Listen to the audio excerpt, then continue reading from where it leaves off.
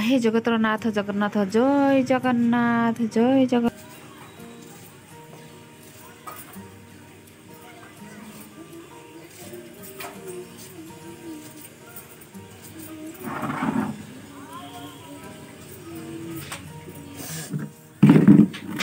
ସରିଯାଇଛି ନା ଅଛି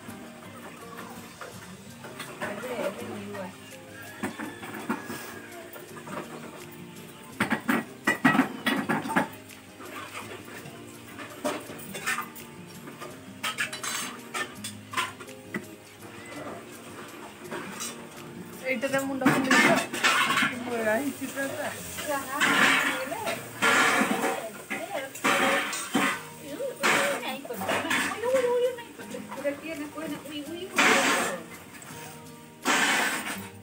तो आज के होना सुबह सुबह बाल दिए थी पूजा वगैरह भी सब हो गया था और सूजी उपमा बना रही थी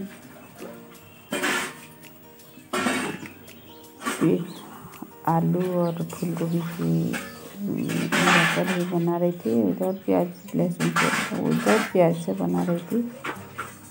मुझे ये अच्छा लगता है तो बाहर बैठ कर कर रही। हूँ सुबह सुबह आजकल ठंड लग रहा है, इसलिए धूप में बैठ कर करना अच्छा लगता है। तो ये बैठ गई और बना रही थी और उधर बर्तन को साफ़ कर रही थी तो कैसे आवाज़ हो रहा है ढूढ़ा ढूढ़ा ऐसे आवाज़ हो रहा है।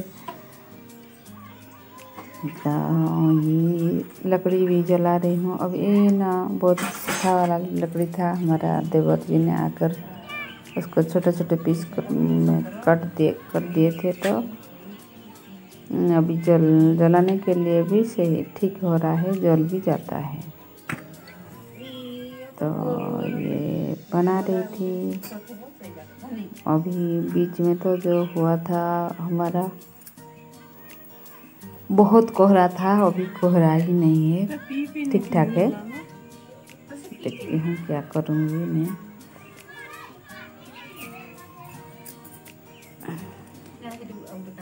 और सुबह सुबह बाल धोना तो बहुत मुश्किल होता है सर्दी के मौसम में। लेकिन बोरिंग से पानी चलाकर धो तो ना, या धो। अच्छा जैसे कि हम गर्म पानी जैसा होता है। और गर्म पानी से नहाना भी ठीक ठाक नहीं है तो क्या करना जो पानी को पहले चला दी और उसमें नहा लिया तो बहुत ही अच्छा लगा। बाल भी धो ली, कि कुछ नहीं हो रहा, नहीं तो ठंड पानी में धो दोगे तो एकदम से सर्दी होगा छींक होगा और मतलब बिल्कुल ही एकदम से नाक जाम हो जाएगा, उस टाइप का होता है। चलो, अभी तो ठीक ठाक है, कोई प्रॉब्लम भी नहीं है और बेटी को बोली तो कुछ लेकर दी थी।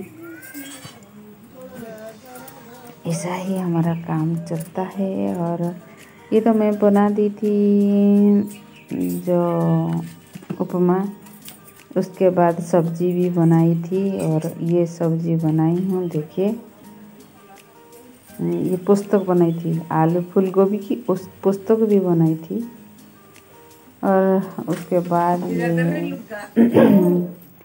कपड़े को सुबह सुबह ही धो लिया था। सुबह सुबह नहीं धोऊँगी तो क्या हुआ ना बाद में करने का मन ही नहीं करता है इसीलिए सुबह सुबह ही बाल को धो दी। और सबसे धो लिया धोने के बाद ही जो नाश्ता करी नाश्ता करने के बाद सब चली गई थी। क्या हुआ ना कोई दिनों से मैं साफ़ करने वाली थी। तो उसको साफ़ नहीं कर पाई थी। इधर उधर उधर इधर उधर हो रहा था क्योंकि बीच में तो हम चले गए थे पिकनिक और उधर घूमे भी और पिकनिक किए फिस्ट वगैरह करे। और जनवरी एक को भी तो पहला दिन 2024 का पहला दिन का भी हम मौज मस्ती करें। ऐसा होता है और सर्दी भी होता है ना बीच बीच में, मौसम बिल्कुल ठीक नहीं था तो नहीं करी थी। तो आज मैं सोची कि आज साफ़ करूँगी। तो ये डेली वेयर वाला कपड़ा अभी साफ़ करती हूँ। हस्बैंड के कपड़े अभी नहीं है हमारे पास। तो सॉरी वो नहीं लाए हैं। वो उधर ही धोने के लिए दे दिए थे तो मुझे अभी धोना नहीं पड़ रहा है। जब से मेरा जो मुँह में लग गया है, तब से नहीं धो रही हूँ। देख। और अभी भी मेरे फेस पर सूजन है और दर्द भी है। उसके बाद सब चली गई थी सबसे आने के बाद।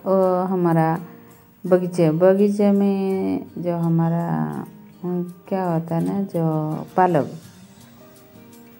पालक के अंदर कितना कचरा भरा कचरा जो है था, उसी की वजह से साग बिल्कुल ठीक ठाक नहीं उग रहा था। तो मैं सोची आज मैं उसको जो कचरा का जो घास को घास को उठा दूँगी, उसके बाद उसके ऊपर थोड़ा सा फर्टिलाइज़र दे दूँगी तो चलो हमको पालक साग अच्छे से मिल जाएगा। तो आज मुझे टाइम मिला तो मैं साफ़ कर रही थी। दो छोटा वाला क्यारी था तो उसको साफ़ करती हूँ। और उसी टाइम साग भी तोड़ रहे थे, बेटी बोली, थोड़ा साग बनाएँगे। उसको बेटी को बहुत पसंद है साग। इसीलिए वो भी आई थी। और साग लेने के लिए इधर मैं तोड़ जो उखाड़ रही थी घास को तो वो भी चली आई और बोली चलो हम थोड़ा बहुत साग भी करेंगे तो अच्छा लगेगा खाने के लिए। गर्मा गर्म तो साग खाने में अच्छा लगता है। उसको बोली बेटी को बोली तो लंच के लिए कुछ बना दो। तो वो बना रही थी। तो अभी घर में है तो थोड़ा हेल्प हो जाता है नहीं तो अकेले के लिए तो आ, करना पड़ेगा। घर घर बाहर देखना पड़ता है ना।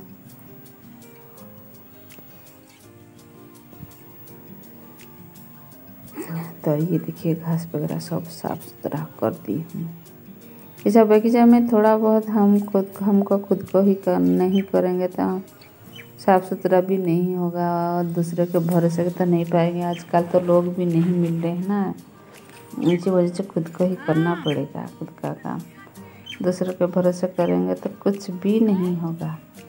इसीलिए मैं खुद ही कर रही हूँ।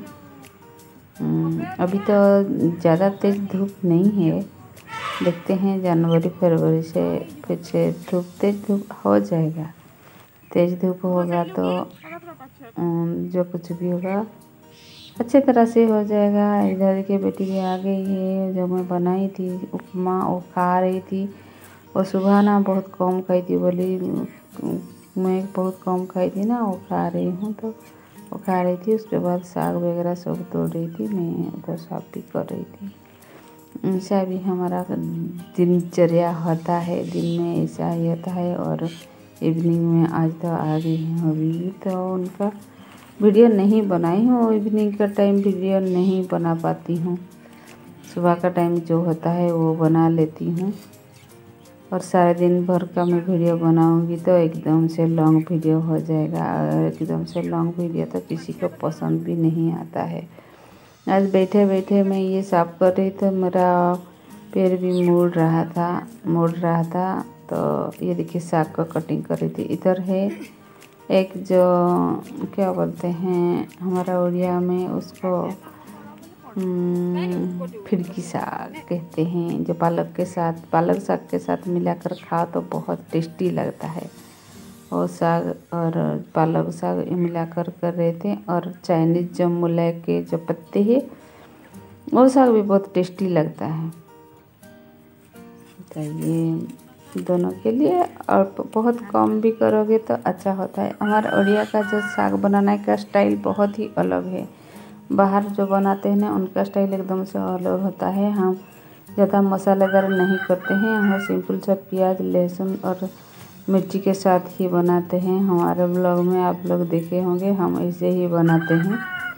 और आप लोग में बस जो उड़िया स्टाइल में साग बनाना एक दिन दिखा दूँगी, कैसे हम बनाते हैं। चलो। ऐसा ही है और मैं क्या बोलूँगी, अभी तो हमारा आ रहा है फेस्टिवल हमारा इस साइड का, उड़ीसा में दूसरे साइड का अलग अलग सब होता है। हमारे साइड में थोड़ा अलग जो इस फेस्टिवल को मनाते हैं, उसको कहते हैं मकर संक्रांति। मकर संक्रांति में दुनिया भर का पिठा पिठा होता है और नए कपड़े वगैरह सब होता है और सारे बहुत खुश होते हैं। नया चावल वगैरह सब हुआ है उसके साथ ही सारे सेलिब्रेट करते हैं। अमृत? तो ये मेरे बागान से मिल गया था अमृत उसको बेटी खा रही थी। तो अभी चलिए मैं रखती हूँ। ये दिखा रही थी खा रही थी देखिए। अभी चलिए मैं रखती हूँ नेक्स्ट ब्लॉग में। अमृत खा रही हो क्या? मिलेंगे और तब तक के लिए आप लोग को साथ करती हूँ। Bye bye.